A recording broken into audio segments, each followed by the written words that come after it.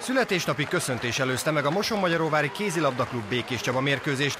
A hazaiaktól Dombi Luca, Katona Flóra és Kokas Viktória fogadhatta a gratulációkat.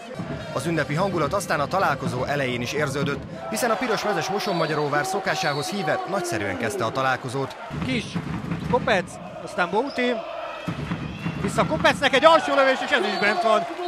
3-0-3 Kopec góllal.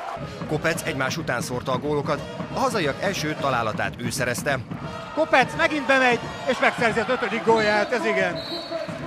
Szemerei Zsófi pedig kiválóan védett az óvári kapuban, több bravúrt is bemutatott, így aztán a lila-fehérek az első félidőben csak futottak az eredmény után. Wolf is. Lusica leteszi a szélre. Nagyon üresen maradt Gávai, de nagyon nagyot védett Szemerei. Elképesztő, amit nyújt a mai mérkőzésen.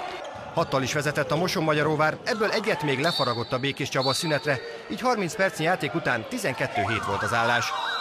A második játékrész aztán az első ellentetje volt, ezúttal a hazaiak felejtettek el kézilabdázni, a viharsarkiak pedig mindent beleadtak, Glusica, Valfis és Vasileuszkája találataival górról góra csökkentették hátrányukat, ráadásul Triffának szinte lehetetlenség volt gólt lőni, a korábbi válogatott hálóőr pazarul védett. A 48. percben aztán egyenlített a Békés Csaba, sőt a vezetést is átvette. Kovacevic bemegy és egyenlít, utoljára 0-0-nál volt döntetlen az állás. Az MKC-t ekkor Bízik Réka hetesei tartották meccsben, az óvári szélső összesen 9 gólt szerzett, és mind a 7 hetesét értékesítette. A végjáték az idegek harcát hozta. Az utolsó percben 21-20-as Csabai vezetésnél a Moson Magyaróvár támadhatott az egyenlítésért, de hajtai lövését Triffa óriási bravúrral védte. Úgy tűnt eldőlt a találkozó, de három másodperccel a vége előtt visszakapta a hazai csapat a labdát. A vendégek nem engedték elvégezni a szabaddobást, és megszólalt a Duda is, de a találkozó mégsem ért véget. A játékvezetők rövid tanakodás után Kovácsevicsnek piros lapot, az MKC-nak pedig időn túli 7 méterest adtak. Bízik bedobta a büntetőt, ezzel pedig pontot mentett a Moson Magyaróvárnak.